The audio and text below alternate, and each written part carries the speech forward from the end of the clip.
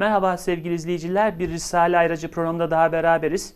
Bildiğiniz gibi Risale Ayracı'nda her hafta Risale Nur'dan bir bahsi, imani ve Kur'ani bir bahsi analiz ediyor. Onun hakkında farklı açılardan bakabilir miyiz? Farklı ne anlayabiliriz? Ya da daha derin nasıl anlayabiliriz? Bunun üzerine tefekkür ediyoruz. Bu hafta da İkram abiyle beraberiz İkram Arslan'la. Geçen haftadan konuşursak biraz İkram abi. Çünkü bu haftayı belki sadece izleyecekler. Geçen hafta ne konuştuğumuzu bilmeyecekler. Ancak bu hafta işleyeceğimiz konu geçen haftayla ilgili. Biz Evet. geçen hafta ne konuştuk? Ee, burada işlediğimiz 9. asıl bize ne öğretmeye çalışıyordu? Ne öğrendik? Ne ders aldık ondan? Biraz bahsederseniz. Ee, 24. sözün 3. dalına e, baş kısmına kısmen giriş yapmıştık. Orada bazı manasını tam anlayamadığımız, idrak edemediğimiz hadislere hemen böyle olmaz gibi bir yakıştırmada bulunmadan önce bir durup düşünmek lazım. Yani hadislere bakış açısı öğreniyoruz şu Tabii an. bir bakış açısı öğrenmiştik. Hani belki manasını biz tam oturtamayabiliriz, anlamayabiliriz. İşte anlamadık mantığımıza tam uygun gelmedi. E, dolayısıyla biz bunu hemen ya bu olmaz deyip atacak mıyız? Hayır. Bunu öğrendik. E, bunun e, bir okumasını e, öğrenmeye çalıştık. E, dokuzuncu asılı biz örnek olarak almıştık. Bunun için amellerin fazilet ve sevabına dair hadis-i şerifenin bir kısmı tergip ve terhibe münasip bir tesir vermek için belagatli bir üslupla geldiğinden dikkatsiz insanlar onları mübalağalı zannetmişler. Şimdi aslında o Belagat ve mübalağa arasındaki biraz nüansı öğreniyoruz sanki bir baştan da. Olabilir tabi belagatli gelmiş ve bir takım hakikatler yüklü içerisinde. Ee, mesela bazı e, meseleler o zamanın e, kaldırmayacağı meseleler olabiliyor belki. Belki ileriye dönük bazı haberler olabiliyor hadislerin içerisinde. Bizim neslimize verilmiş Tabi mesaj. geleceğe yönelik hadisler olabiliyor. Şimdi onları siz o insanların e, anlayabileceği tarzda anlatmanız lazım. Onlar da anlayacaklar. Artı hani gelecekteki nesil de bunu okuduğu zaman o da ondan bir mana çıkaracak. Dolayısıyla belagatli anlatmak zorundasınız. E, nükteli anlatmak e, yani o hadisler böyle nükteli bir şekilde gelmişler, ulaşmışlar. Bir ikincisi tergip ve terhip var içerisinde. Hani haf ve recayı konuşmuştuk. Yani hadislerin içerisinde bunlar da var. Bazen insanları korkutmak, bazen de ümitlendirmek, şevklendirmek için e, sanki çok tabiri caizse sert bir üslupla gelen hadisler de var. Bazen de bakıyorsunuz burada söylendiği gibi amellerin işte e, faziletlerini anlatmak için örnekler serdederek e, izahlar oluyor şeylerde, hadis-i şeriflerde. E, dolayısıyla şimdi bunları e, insan anlayamadığı zaman, tabiri caizse akıl tökezlediği zaman hemen ya böyle şey olmaz dememesi lazım. Peki nasıl bakması lazım? Bu asılların aslında yapmış olduğu şey o. Hani bize bir okuma, bir şablon, bir bakış açısı sunuyordu. Şöyle desek doğru olur mu o zaman? Bir cümlenin belagatini eğer anlayamıyorsak o cümle bize mübalağalı geliyor. Olabilir. Mübalağa sandığımızın arkasındaki hakikati anlarsak ki buradan aldığımız ders sanki böyle bir şey. Hani sizden de öyle anladım. O zaman belagatini idrak etmiş oluyoruz. Evet. Ya işte karşının karşı taraftaki insanın seviyesine göre konuşmak, anlayacağı tarzda konuşmak. E, yoksa çok e, ince manalar ifade eden cümleler kurmak değil belagat. Yani çok böyle anlaşılmaz ağır kelimeler kullanaraktan cümle kurarsanız o belagat olmaz. E, gidip bir köylüye de çok böyle adalı cümle kurarsanız o orada belagat olmaz. Yeri geldiği zaman tamam çok süslü cümleler kurarsınız. Onu e, karşı tarafınız anlayacaksa karşıdaki kişi o belaat olur. Fakat aynı üslubu e, anlamayacak, eğitim seviyesi iyi olmayan bir insana karşı kullanamazsınız. İşte o yüzden belagat yere göre, duruma göre, şartlara göre karşı tarafın anlayacağı seviyede konuşmak. Hmm. Konuşma sanatı ya da. Belagatın tarifi bu. Belagatta böyle bir tarifi var diyebiliriz. Ee, birincisi bu. Şimdi bunu mesela karşısında bir grup var. O grup insana söylüyor. O grup insan anlıyor fakat e, ikinci bir grup o söze muhatap olduğu zaman aynı şeyi belki anlamayabilir. O yüzden ayetlerde de bu vardır. Sebebi nüzulüne bakarlar. Bu ayet hangi e, şey üzerine nazil oldu? Nasıl bir olay vuku buldu da bu ayet nazil oldu diye ona da bakılır. Aynı şekilde hadislerde de bu vardır. Peygamberimiz bir sözü söylediyse acaba niye söyledi? Nasıl bir olay oldu da onu niye söyledi? Buna buna bakaraktan o hadisin e, mertebelerini, derecelerini tabi muhaddisler çok daha iyi biliyorlar. Bize anlatıyorlar, izah ediyorlar. Şimdi biz geçen hafta buradan bir ayet e, bir hadis-i şerif okumuştuk. Gelen itirazlara da değinmiştik. Dilerseniz bu kadar hatırlatmak yeterli olsun. Bu hafta ikinci bir örnek daha var. O örnek yani mana itibariyle öncekinin aynısı değil. Fakat kategori olarak onu da buraya koymuş Bediüzzaman. Ee, hani burada da amellerin fazileti var daha ziyade. Hani bazı hadislerde sanki e, çok abartı varmış gibi. Hani bir şey yapın şu kadar sevap kazanın e, gibi çok abartı var gibi insanlar daha doğrusu ehli ilhat itiraz edebilmiş. Tabi ehli ilhadın oradaki maksadı bilinmeyen bir şeyi e, anlamak için sormak değil. Onların manası da amacı daha ziyade karıştırmak, Akıl karıştırma. aklı karıştırmak, e, imanı zayıf olanların belki e, aklına bir takım soru işaretleri düşürebilmek, belki yavaş yavaş imandan soğutmak. Bu da tehlikeli bir şey. E, Ehl-i ilhadın yaptığı şey o fakat şimdi görüyoruz ki böyle mevzuların içerisine böyle sorularla dahi girilmiş olsa bile e, çok cevherler çıkıyor.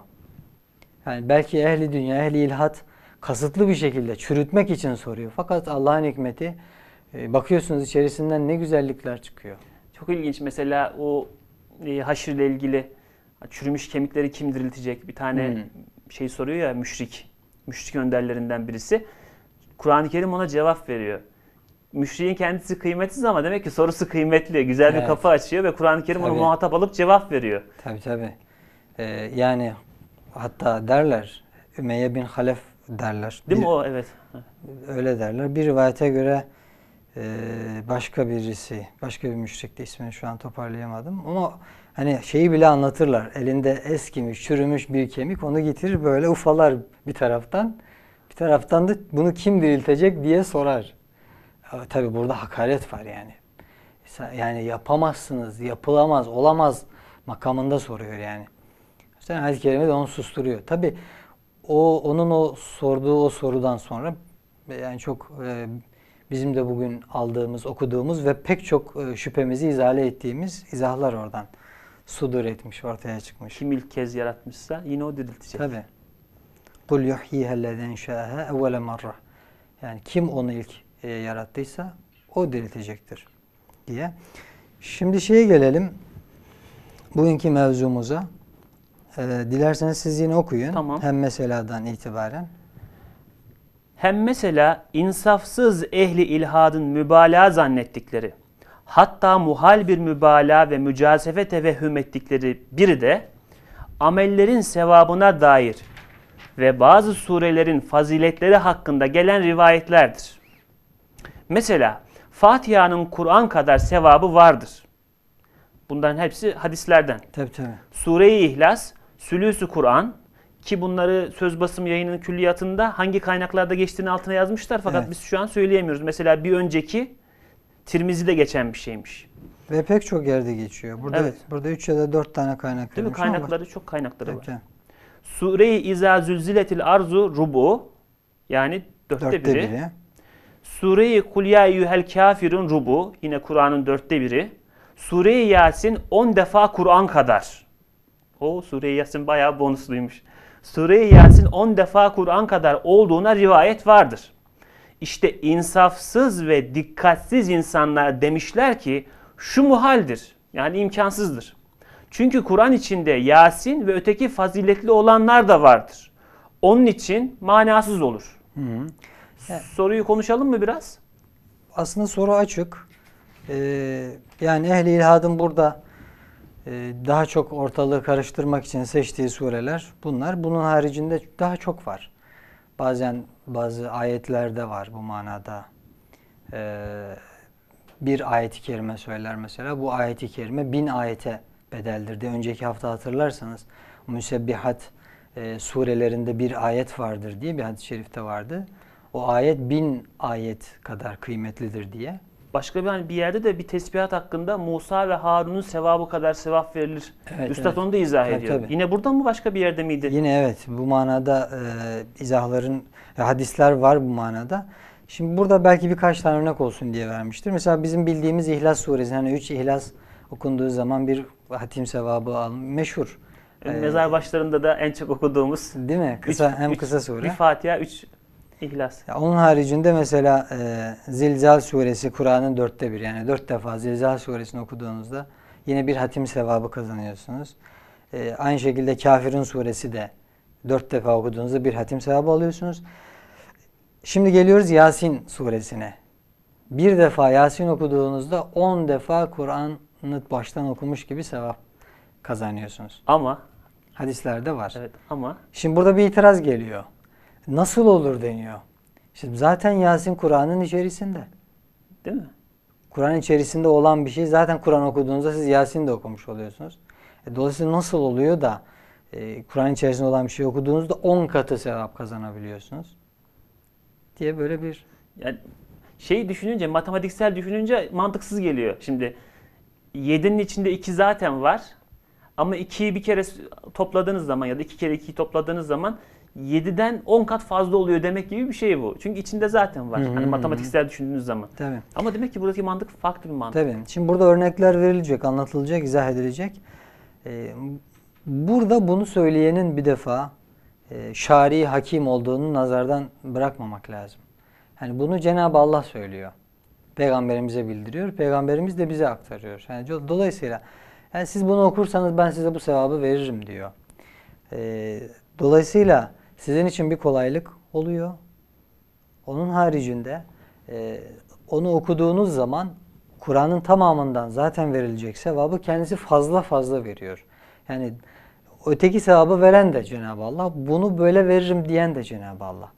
Yani dolayısıyla söz konusu bu Kur'an-ı Kerim'i bize gönderen olursa hiç de mantıksız olmuyor aslında. Yani Allah diyor bunu böyle yaparsanız size bu kadar sevap veririm diyor. İşte bizdeki matematiksel kafa illa... Şimdi onun izahı da burada örneklerle gelecek inşallah. Tamam inşallah. El cevap, hakikati şudur ki Kur'an-ı Hakim'in her bir harfinin bir sevabı var. Bir hasenedir. Fazlı ilahiden o harflerin sevabı sümbüllenir.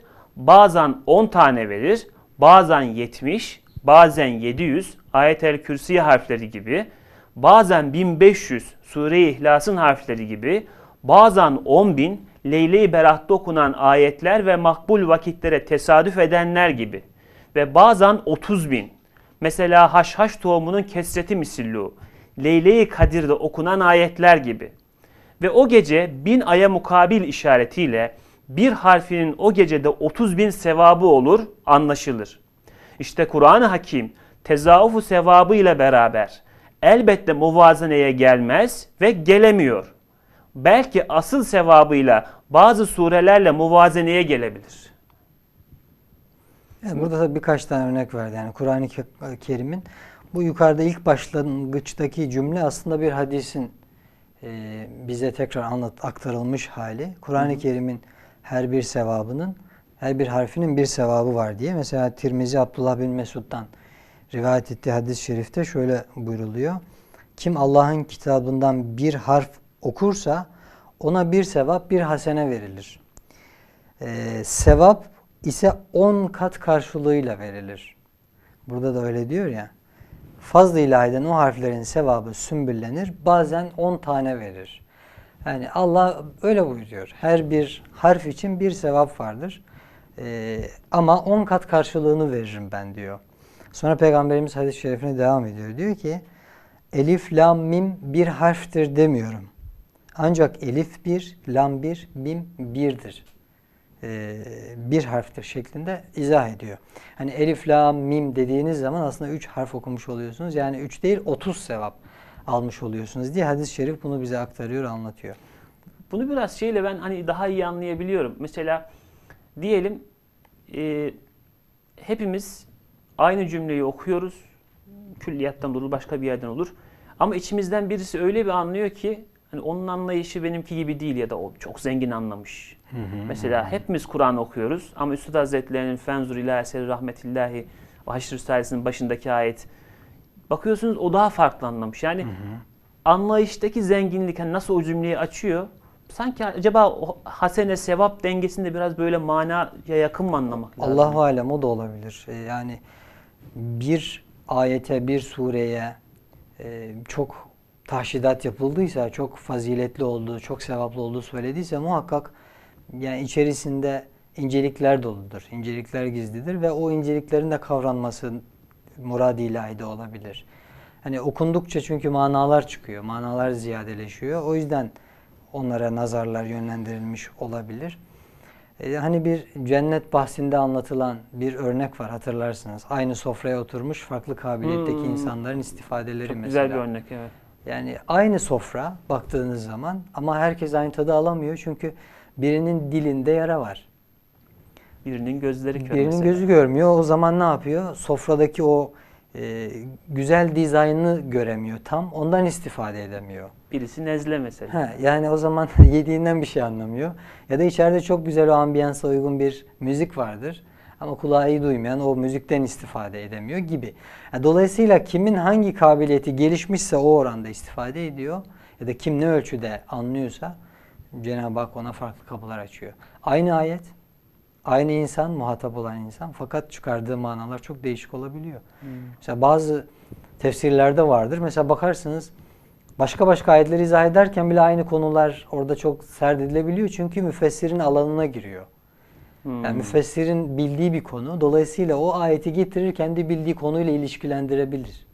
Bildiği bir alan olduğu için o konuda e, daha böyle ufku açık, daha bilgi sahibi, daha kolay vakıf olabiliyor meselelere, hadiselere. E, Tabi hep böyle olmayabilir, birden de açılabilir. O da Allah'ın bir lütfu, bir ikramı. Birden size bir kapı açar. Ve işte siz o zaman o ayetlerdeki o faziletin kıymetini anlarsınız. Yani demek ki böyle bir şey varmış ki Cenab-ı Hak çok okuyun diye e, bize hem sevap veriyor. Çok okuyun sevap vereceğim diyor ama aynı şekilde bakıyorsunuz ki aslında çok manalar yüklü. Mesela o e, geçenki paylaştığımız hadis-i şerifte işte müsebbihatta bir ayet vardır. Sevapça bin ayete bedeldir diye. Ee, ben orada bir rivayete rastladım. İşte şeyin Hadid suresinin 3. ayeti olduğunu birisi bir müfessir rivayet etmiş, kastedilen. Orada Cenab-ı Hakk'ın isimleri var. O ayeti kerimede. Hı. Şimdi bakınca ha, orada Cenab-ı Hakk'ın 3 ya da 4 tane esma esması olunca demek ki esmaya özel bir vurgu var gibi ben hissettim. Acaba bu e, tesbihat, hamd çünkü sureler öyle başlıyor, ayetler öyle başlıyor. Hamd ediyor, tesbih ediyor ve getirip bir esmaya bağlıyor. Dolayısıyla ham, tesbih ve esma arasında acaba bir bağlam, bir ikilem olabilir mi? diye bir şeyler hisseder gibi oldum. Yani şey diyorsunuz böyle sevap vurguları, teşvikler, tavsiyeler işte daha çok fazileti var 10 Kur'an kadar falan Yasin'e mesela Evet. bu tavsiye. Onu biraz daha fazla düşünün veya biraz daha fazla dikkat edin. Onlarda bir incelikler var. Tabii. Ya da görmeniz gereken bir şeyler var. Bunun altını çizme şeyi diyorsunuz biraz da sanki. Öyle gibi hissediyorum. Hmm. Hem bence manen de yani çünkü çok okundukça latifeler de istifade ediyor ya. E, Mesela önceki hafta yine paylaşmıştık hatırlarsınız. Mesela Bediüzzaman bir ayeti kerimeyi alıp tefsir etmeden önce defalarca okurmuş. Şimdi biz buradaki bu teşviği duyunca çünkü diyor ya çok okuyun okudukça çok sevap kazanırsınız. Bu bir, bir teşviktir aynı zamanda. Çok Doğru. okuyoruz. Çok okudukça bizce meçhul olan bilemediğimiz bazı duygular harekete geçiyor. Aslında manen de insanı terakki ettiriyor. Duyguları harekete geçiriyor. Bu yönü de var. Aynı zamanda aklın da oradan ha bir kapısının açılacağı, belki açılacağı, belki yeni ufuklara e, kanat çırpacağı bir alan e, önüne gelmesi muhtemeldir. Abi bu şeyle de çok ilgili. Bir başarı kitabında okumuştum. Muhammed Bozdağ'ın olabilir düşün başar öyle bir şey. Yani diyor mesela insan mutsuzsa kendi kendine ben mutluyum, ben mutluyum, ben mutluyum bunu tekrar etsin diyor. Ha bir süre sonra diyor kendisi de fark edecek diyor yüzünün tebessüm ettiğini. Hani cümle hani nasıl ki içimiz dışarıya etki yapıyor, dışımız da içimize doğru bir etki yapıyor diyor. Hani dilimizde olan içimizi de etkiliyor. Pozitif konuşmak insanı da pozitif hale getiriyor gibi bir şey var. Şimdi o dediğiniz falan şimdi o aklıma geldi de hani ayeti tekrar ediyorsun.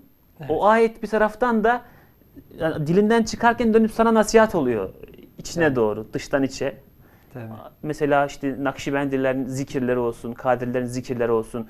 Hani niye o isimleri çok zikrediyorlar? Hani o isim kendi üzerlerinde tekrar bir dönüp nasihat oluyor belki. Tabii aynı aynı şekilde mesela ismi azam da öyle. Ve her keste tecelli eden ismi azam farklıdır derler mesela. Ee, o ismi azamı çok zikrederler. E, mesela Risale-i Nur'da 30. lemada 6 tane esma zikredilir ve ismi azama ya da ismi azamın bir nuru olduğu ifade edilir. Ya da altısının ismi azam olduğu Lemaların şekilde. ahirindeydi değil mi? Ha, lemaların 30. lemada mesela anlatılıyor. Bunun gibi mesela sizde bir isim daha ziyade tecelli ediyordur. Sizdeki ismi azamı o oluyor. Başka birisinde başka bir isim tecelli ediyor olabilir. O o insanın virdi olabilir. Sürekli o virdi yapa yapa o isim belki onun dünyasında daha açılıyor olabilir. İşte tekrarlarda böyle faydalar var. Hem fıtratıyla bütünleşen, hem iç alemini aydınlatan hem de aslında düşünce ufkunu da aydınlatan bir manası olabilir. Bu ismi azamın da böyle bir yönü olabilir. E, Diğer taraftan hadislerde de bu olabilir, ayet-i kerimelerde de. Yani okudukça şey gibi tabiri caizse mesela bisiklet süren bir insana baktığınız zaman pedal çeviriyor. Ya baktığınız zaman hep aynı şey yapıyor. Ama bacak güçleniyor bir taraftan. Hem da. bacak güçleniyor hem aslında o yol kat ediyor. Doğru. Aslında bir ilerleme orada söz konusu. Dolayısıyla siz aslında hep aynı şeyi söylerken aslında bir manada ilerliyorsunuz. Dur, olduğunuz yerde durmuyorsunuz. Zikre bakışım değişti şu an. aslında bir yol kat etme orada söz konusu. Aynı şekilde bu ayet-i kerimedir. Biz mesela işte elimizden geldiğince her cuma, perşembe günleri Yasin'i okumaya çalışıyoruz. Belki bir manada bu 10 katı sevabı yani Kur'an'ı 10 defa okumuş gibi sevabı elde etmeye çalışıyoruz, gayret ediyoruz aslında. Ama aslında bir manada da oradaki hakikatleri de biz her hafta biraz daha biraz daha sindirmeye, biraz daha yerleştirmeye de e, gayret ediyoruz. Ya da farkında olmadan yerleştiriyoruz Allahu alem. İnşallah. Yani hakikaten o tekrar işinde böyle bir sır yani o sevapların açılması meselesi. Gerçi şimdi bir Mısır örneği gelecek. Tabii. Belki de onu öyle de düşünmek lazım. O açıdan da düşünmek lazım. Tabii hani bu nasıl olur? Hani Kur'an'ın içerisinde de olan bir sure nasıl olur daha fazla sevap verir? Onu bir Mısır örneği veriyor. Onunla çok güzel izah ediyor. Bir okuyalım Evet. isterseniz. Mesela içinde mısır ekilmiş bir tarla farz edelim ki bin tane ekilmiş. Bazı habbeleri yedi sümbül vermiş. Farz etsek her bir sümbülde yüzer tane olmuşsa o vakit tek bir habbe bütün tarlanın iki sürüsüne mukabil oluyor. Mesela birisi de 10 sümbül vermiş. Her birisinde 200 tane vermiş. O vakit bir tek habbe asıl tarladaki habbelerin iki misli kadardır ve hakeza kıyas et. Yani örnekler açık sanırım. Yani bir tane bir tarlayı düşünelim. Bin tane tohum ektik. Mısır tarlası. Bin tane tohum ekildi. Ee, mesela bir tanesinde bir tanesi büyüdü. Yedi tane sümbül verdi. Koçan mı deniyor her bir tanesine? Koçan. Mısır Mısır'da koçanı koçan, diyorlar, değil evet. mi? İşte yedi tane koçan verdi.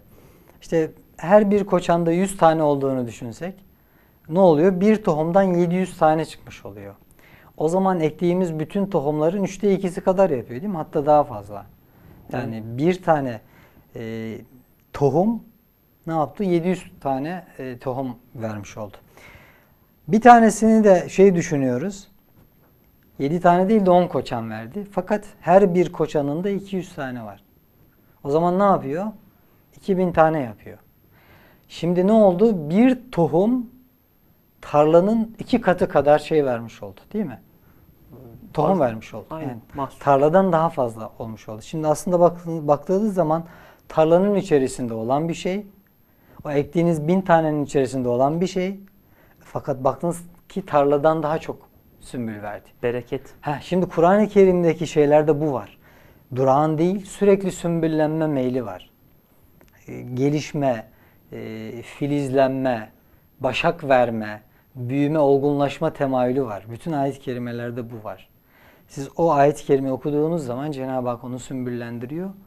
E, tabiri caizse sevap cihetiyle birken bine, önceki paragrafta ifade ettiği gibi bazen okuduğunuz güne, ana göre sevabı değişebiliyor, sümbüllenebiliyor, fazlalaşabiliyor. Yani buradaki Cenab-ı Hakk'ın o e, hadis-i şeriflerde buyurulan o e, fazilet cihetleri de buna tekabül ediyor olabilir. Abi bu bana şeyi hatırlattı. Bir, bir yerde bir bereket tarifi işitmiştim de. Mesela bu sohbetlerde de biraz bu var. Mesela dört kardeşiz, beş kardeşiz, altı arkadaşız, toplanmışız. Şimdi herkes aklında bir şeyle geliyor oraya, ortaya koyuyoruz. Ama kalktığımızda herkes de yani top- topladığımızdan fazlası oluyor. Evet. Yani bereket ciheti var. Bereket. Kur'an da demek ki böyle hani evet bir ayette başladın yola ama o ayet sende artık sevap cihetiyle veya anlam cihetiyle öyle açılımlar yaptı ki Evet. başına otururken ki adam olarak kalkmadın başından.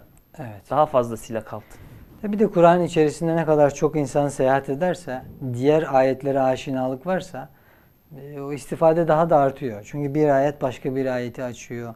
Belki başka bir ayette tam oturtamadığınız hakikatler burada açılabiliyor, karşınıza çıkabiliyor. E, bu cihet de var. Hani birbirini izah ediyor, birbirini açıyor, birbirine bağlantı kuruyor tabiri caizse. Bu yönü de var. E, diğer kısmı da okuyalım. Tamam. Şimdi Kur'an-ı Hakimi nurani, mukaddes bir mezrayı semaviye tasavvur ediyoruz. Şimdi örneğimizde bir tarla vardı. Mısır örneğini vermiştik. Şimdi Kur'an-ı Kerim'de tabiri caizse böyle semavi bir tarla. İşte her bir harfi asıl sevabıyla birer habbe hükmündedir. Asıl sevap burada önemli bir kavram. Asıl sevabıyla birer habbe hükmündedir. Onların sümbülleri nazara alınmayacak. Yani tarlada olduğu gibi hani tarlada iki tane sümbülü öne çıkar, tohumu öne çıkarmıştık ki ötekileri nazara almamıştık. Evet, ekim aşamasını düşünüyoruz sadece şu evet. an. Mahsulü değil. Evet. Sure-i Yasin, İhlas, Fatiha, Kul ya eyyuhel kafirun, İza zülziletil arzu gibi sair faziletlerine dair rivayet edilen sure ve ayetlerle muvazene edilebilir. Mesela Kur'an-ı Hakim'in 300.620 harfi olduğundan Sure-i İhlas Besmele ile beraber 69'dur. 3 defa 69 207 harftir. Demek Sure-i İhlas'ın her bir harfinin haseneleri 1500'e yakındır. Evet. Yani bunu e, ben başka şeylere kaynaklara da baktım. Bu Kur'an'ın 300 bin 620 harfinin e, olma meselesine baktım. Farklı farklı rivayetler var. E, kimisi daha fazla söylemiş. Ama 300'ün üzerinde ittifak var. E, tabii bunun da çeşitli şeyleri var. Kimisi mesela e, şeddeleri almış, kimisi İki almamış. saymış, kimse saymamış. E, Tabii bir de mesela kıraatlara göre bazen okuyuşlar da değişiyor. Bazen maliki, bazen meliki oluyor. Orada bir elif kayboluyor mesela. Bunun gibi okuyuş farkları falan nazara alınınca böyle bu şeylerde farklılıklar olabilir. Ee, o yüzden hani burada bu harflere çok fazla bence takılmamak lazım. Şu kadar harf var mıydı yok muydu? Burada asıl verilmek istenen şey Bakış açısı. bir bakış açısı veriyor. Hani şu kadar harf var. Kur'an-ı Kerim'de bu kadar harf var. İhlas suresinde bu kadar harf var. Dolayısıyla siz bir İhlas suresini 3 ile çarptığınız zaman şuna tekabül ediyor. Yani demek ki hani Kur'an'ın o harflerine böldüğünüz zaman her bir harfine bu kadar sevap düşüyor. Ki siz bir bir ihlasın bir harfini okuduğunuzda yani Kur'an-ı Kerim'in 1500 tane harfini okumuşsunuz gibi Cenab-ı Hak size sevap yazıyor. Bir de sanki Üstad Hazretleri burada bakış açımızı e, hani şey derler deprem oranları mesela işte 7,2 7,5 arasında her 0,3'te katlanırmış. Hendesi genişliyor diyorlar hani şey trigonometrik bir şeyde. Katlanıyor 0,3'te. Biz de böyle riyazi düşünüyoruz matematiksel. Halbuki Cenab-ı Hak o açarsa Evet. daha fazla katlanması mümkün. Tabii. Yani aynen öyle. Şimdi Yasin'e de değinecek. Yasin örneği de aynen bunun gibi. Ee, şimdi Kur'an'ın 10 katı sevabı verildiği örneğini orada söylemişti. Şimdi bunu da okuyalım. İşte Sure-i Yasin'in hurufatı hesap edilse, Kur'an-ı Hakim'in mecmu hurufatına nispet edilse ve 10 defa muzaf olması nazara alınsa, şöyle bir netice çıkar ki, Yasin-i Şerif'in her bir harfi takriben 500'e yakın sevabı vardır. Yani o kadar hasene sayılabilir. İşte buna kıyasen başkalarını dahi tatbik etsen, ne kadar latif ve güzel ve doğru ve mücafese, müca- mücazefesiz bir hakikat olduğunu anlarsın. Yani İhlas örneğinde olduğu gibi Yasin'i de aynı şekilde hesap edersek yani Kur'an'ın 10 katını alıp işte Yasin suresindeki harflere bölersek işte ortalama 500'e tekabül eder diyor Üstadları. E tabi tekrar ben şunun altını çizeceğim. E, burada harf şu kadardı bu kadardıdan ziyade orada da asıl verilmek istenen manaya bence odaklanmak lazım. O ayetler açılabilir. O için. ayetler açılır. Evet aynen öyle. Dolayısıyla hani O ayetler içerisinde gizli olan, sırlı olan, saklı olan bir şeyler var. Murad-ı ilahi yani onların çok okunup çıkarılması yönünde bizim düşüncemiz. Dolayısıyla çok okumak lazım ki Cenab-ı Hak o faziletleri açsın, bize ihsan etsin, versin. Bu örnekleri de e, hemen hızlıca şunu da söyleyelim.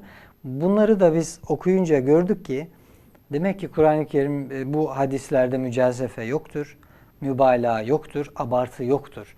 Yani hakikattir, hakikatin ta kendisidir.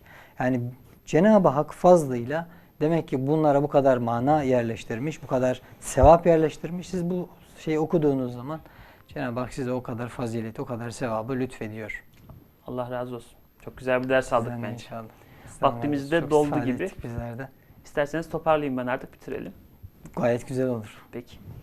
Bir Risale Ayracı programının daha sonuna geldik. Gördüğünüz gibi Kur'an-ı Kerim'deki ayetlerin sadece kendilerinden ibaret olmadığını, açılabilir, okunabilir, bereketlenebilir bir potansiyele hitap ettiğini ve Kur'an'ın faziletine dair hadislerin bizi o yönde şevklendirdiğini gördük. Bunu tefekkür ettik. Bunu biraz anladık. Cenab-ı Hak hissemizi bu ayetlerden, bu Kur'ani bahislerden ziyade eylesin. O daneleri sümbüllendirebilmeyi, o mısır koçanlarını işte 700 tane daha fazlası belki alabilmeyi, o hakikatleri çıkarabilmeyi nasip eylesin.